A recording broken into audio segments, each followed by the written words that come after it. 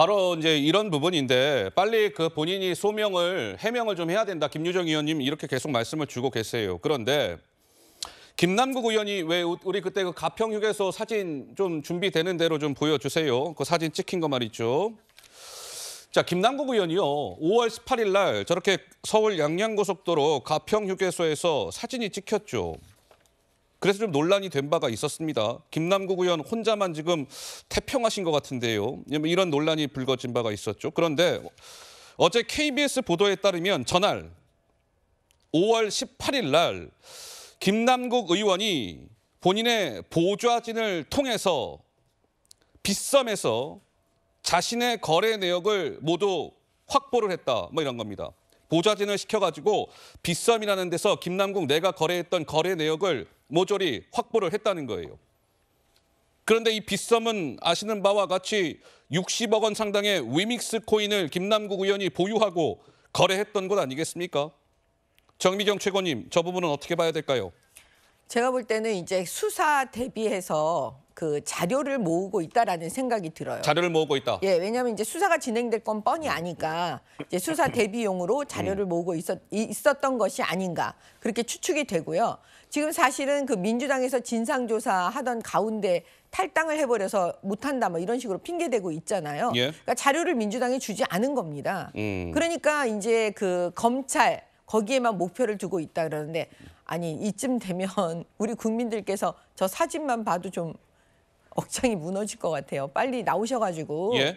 그 기본적인 염치 제가 늘 염치를 얘기하는데 음. 그 기자회견을 했으면 좋겠어요. 기자회견을 네, 했으면 모든 좋겠다. 음. 기자들의 질문을 받고 네. 거기에 대해서 본인만이 답할 수 있잖아요. 지금으로서는 음. 아니면 이제 수사가 아니 이제 진행이 되면 다 밝혀지겠지만 그 전에 음. 그래도 국회의원이니까 예. 먼저 기자들의 기자들의 질문에 답하는 게 먼저입니다.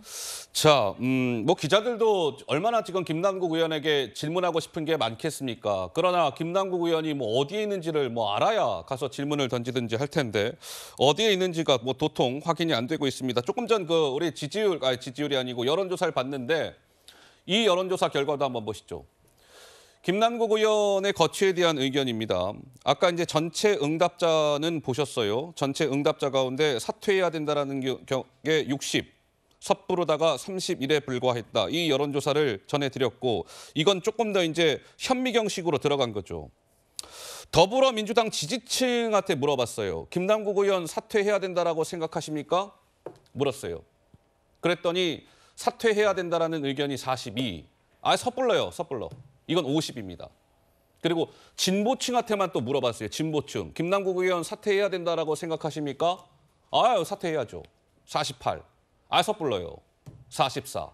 그러니까 민주당 지지층, 진보층에서도 사퇴해야 된다라는 의견이 42, 48. 뭐 이렇게 나온 것이다. 뭐 이런 겁니다. 꽤 높게 나온 거 아니냐? 뭐 이, 이게 이제 핵심 내용인데 김현정 특보께서는 이 여론조사를 어떻게 읽고 계시는지요?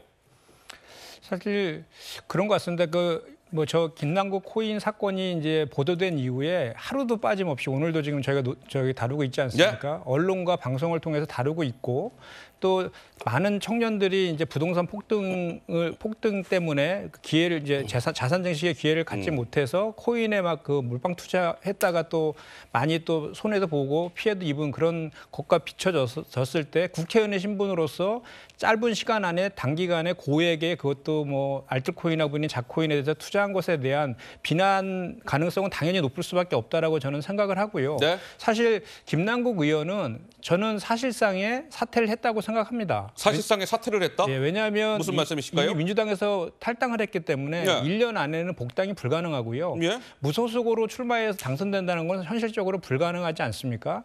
그렇기 때문에 저는 사실상 탈당을 했다고 보는 것이고 음. 그리고 실제로 국민의힘에서 지금 진상조사단 꾸려가지고 뭐 업체라든지 거래소라든지 이런 쪽에 이제 간담회를 진행 중인데 예. 마브렉스라고 의혹 제기한 것도 음. 내부 정보 이용하지 않았다고 그 공식적으로 또 발표를 했지 않습니까? 그리고 네. 음. 또그 전에도 그렇게 공격했던 위메이드 어, 임직원들이 국회 출입 14번을 하는 과정 속에서 분명히 김남국 의원이 있을 것이다라고 추측성으로 비판을 많이 했지만 확인해 보니까 없단 말이죠. 네. 그래서 일부에서 제기되고 있는 의혹들에 대해서는 또 아닌 것으로 밝혀지는 것도 있습니다. 그렇기 때문에 음. 지금 제가 봤을 때에는 지금 단계에서 저는 가장 그 빠른 시간 안에 했으면 예. 좋겠다는 생각인데 결국은 김남국 의원이 음. 그 지금 자료도 다 확보하고 있으니까 빠른 시간에 종합적인 내용들을 소명을 해서 의혹들에 대해서 많이 해소를 하- 한다라고 하- 하- 할 필요가 있겠다 이 얘기를 다시 한번 드릴 수밖에 없습니다.